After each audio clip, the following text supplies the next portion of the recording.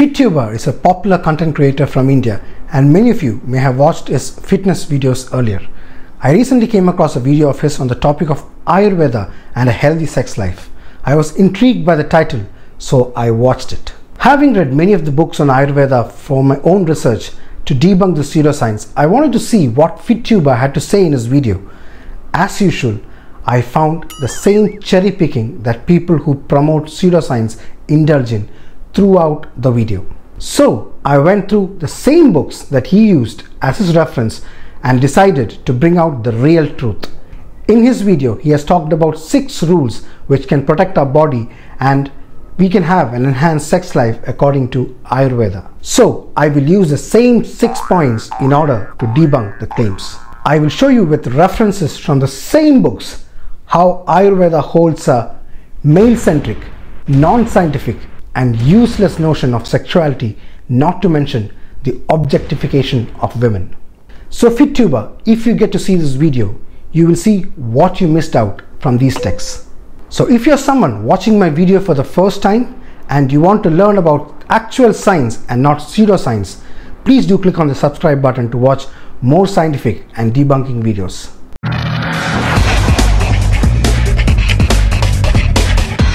Throughout the video, he shows videos and pictures of him reading the books as if to make a point that he has indeed read those books. But he has not shown all the things that have been mentioned in those books, but instead has picked only the good cherries, leaving out the rotten ones. My approach is to show you exactly what is written in those books of Ayurveda. I am using the Charaka Samhita and Ashtanga Hridaya and Sushruta Samhita as my references the same books he has shown in his video. Let us see his first point.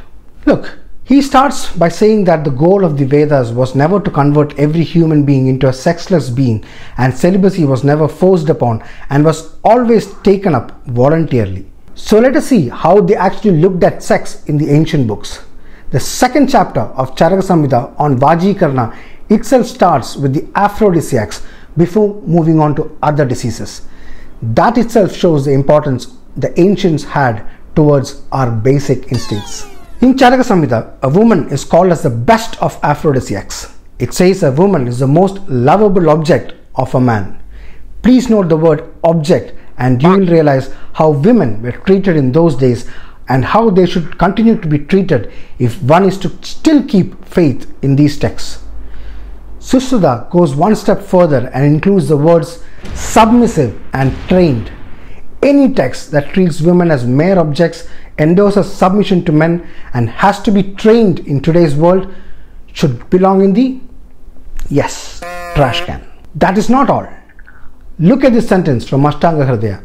It describes an ideal female and ends it by saying that one may have sex as per his liking. His, not hers, not theirs, his. If this is not misogynistic, then I don't understand that word at all. And this isn't the end. Please see how the ancient texts treat women. You're not supposed to have too much faith on them, and they should not be entrusted with secrets nor hold any position of authority. Only people whose wisdom is as outdated as these texts would even dare to think like this in today's times. And people think there is a lot of ancient wisdom in these texts. Yeah, right. Something that FitTuber overlooked and I would like to point out is the age at which one can indulge in intercourse with women. Take a look at this passage from Charaka Samhita. A girl up to the age of 16 is called as Bala or child, and the text prescribes for men to have sex daily with such a young girl in order to increase a man's strength. Do I smell pedophilia somewhere? A person having sex daily with a Taruni who is up to 32 years of age is said to decrease strength and having it with a middle-aged woman makes one get old faster. Please don't sweep this under the carpet by saying this was the custom in olden days and today's morality is different, etc. This passage has been taken from the book that is taught in Ayurveda schools even today. FitTuber then goes on to mention about Shukra, which he mentions is much more than a mere reproductive fluid. The next statement is an explanation of the Shukra, which is a potent energy that is present in every cell of the body since birth in the form of Ojas. Yes, the very sort of principle that you hear from any pseudoscientific claim. scientific sounding words such as potent energy which is present in every cell of the body. Is that DNA now? And why? And how does it suddenly come into being at birth? What about the time when the fetus was inside the womb? Did it have no ojas? And what is this ojas? Can anybody see it or measure it?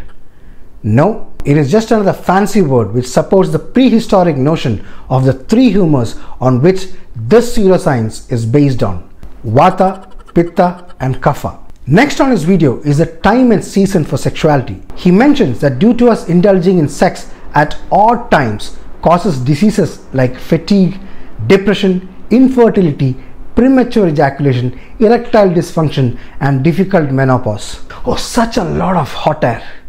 Can somebody please turn on the air condition? Is there any scientific backing for these statements? None whatsoever. Let us see what the texts have to say in this regard. As per the text and FitTuber, winter is the best season for lovemaking, and it has got nothing to do with the need for physical intimacy in order to provide warmth for each other. It is because that is the time that the non existent kapha is much more dominant, leading to more production of shukra. Yet another nonsensical statement with no scientific backing. Summer and rainy seasons are supposed to deplete our shukra. Any evidence or studies for it? Zero. Take a look at this table and then take a look at the textbook again. See this passage which says that men would have the desire to have intercourse daily and if suppressed, it would lead to diabetes, obesity, and looseness of the body, whatever it is. So, if you have to abstain yourself for 3 days or 15 days during summer and rainy season, wouldn't you get obese and get diabetes?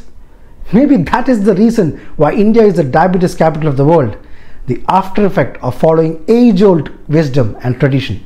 And this isn't all. Ashtanga Hridaya says these bits about indulging in intercourse too. Of course, these texts ban DIY as well and then mentions these as possible side effects of suppressing the Shukra. So tell me, ancient sages, what should one do? To do or not to do? That is the question. He has also explained the age at which you can indulge in intercourse. Since his video was released in 2020, he has conveniently mentioned the age of sexual content as 18. No ancient Ayurveda text mentioned that, my friend. In fact, it mentions the opposite as you can see here. If you can actually follow the age of consent laws in India, you will see that under the Indian Penal Code in 1860, the age of consent was at 10 years. This was raised to 12 in 1891 14 in 1925, 16 in 1940, and 18 in 2013.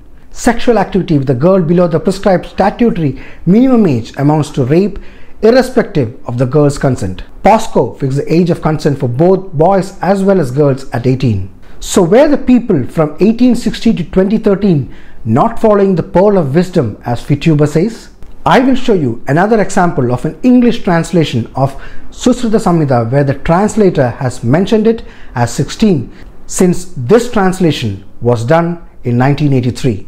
So it is a clear cut example of how people interpret ancient texts in with the current moral values. Moving on, he has also fallen for the menstruation is unclean theory by saying that the text mentions that sex during period is not permitted. Instead of mentioning the unclean theory, he has equated it to the doshic balance.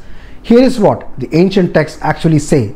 With the current understanding of menstruation, it is time for the yogis to explain how having sex during periods leads to vision defects and makes one die faster. His next slide had me rolling on the floor with laughter. He could have at least bothered to Google for facts before mentioning this in the video.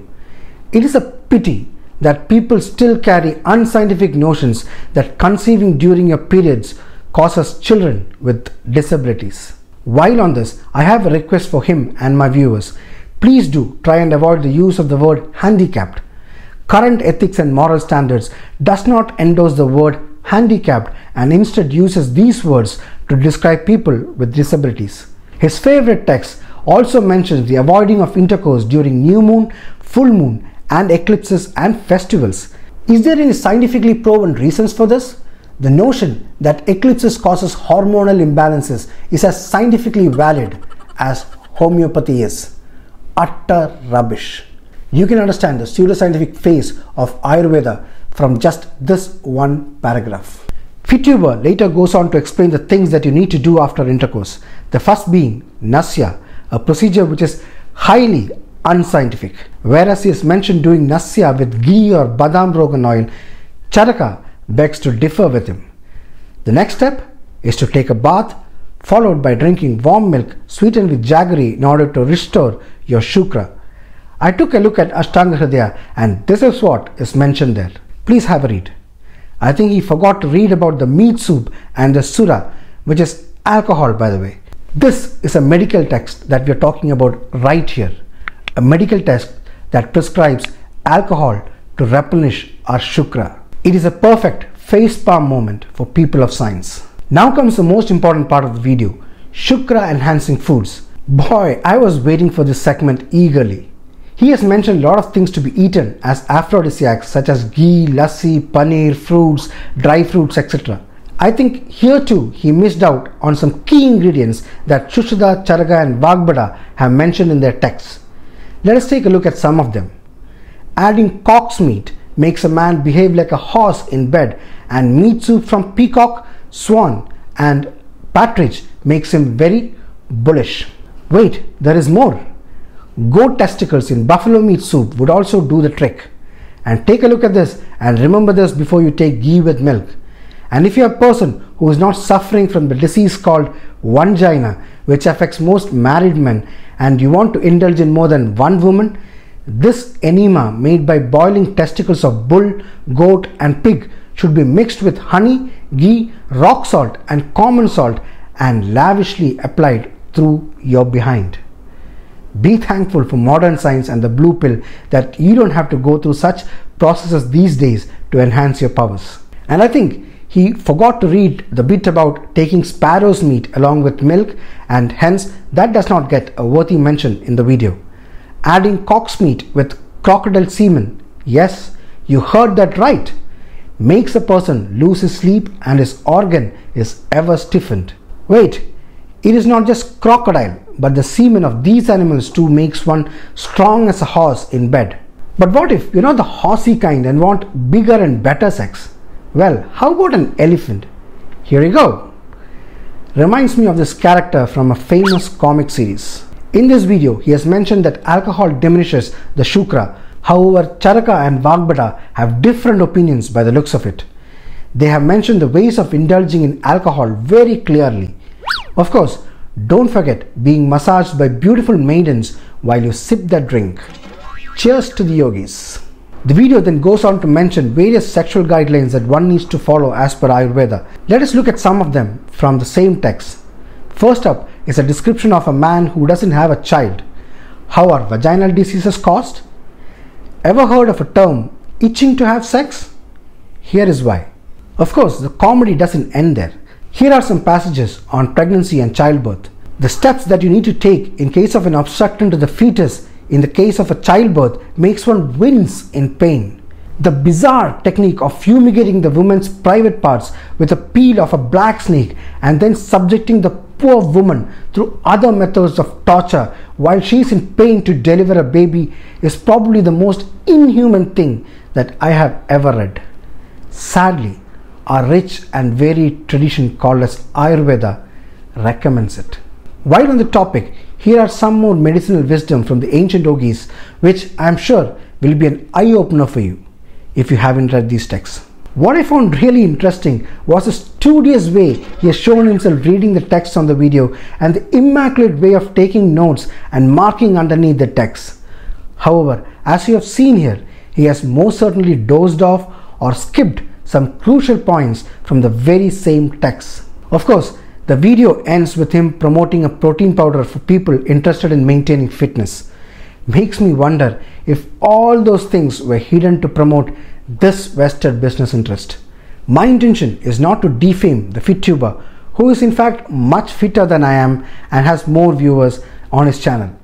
However, my intention was to bring the reality of ancient wisdom in black and white for everyone. When I quickly glanced through his channel, I found that most of his videos are based on unscientific principles and yet As with any pseudoscience promoting videos, they have a lot of takers. I will expose more of the pseudoscientific videos as I get time.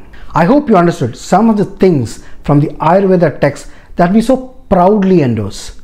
As I mentioned in my previous video on Ayurveda, this Shastra is not just about medicinal plants and foods as wrongly conceived by the majority of people. It contains the most absurd and the most ridiculous concoctions made out of various animal parts. And this is not all. These ancient texts contain many, many more such outlandish concoctions and techniques that would make you squirm in your seat. I guess you've had enough for one day, anyways. But I will be back soon with more perils of wisdom from Charaka, Sushruta, and Vagbhata. Until then, it's bye bye from Pale Blue Thoughts.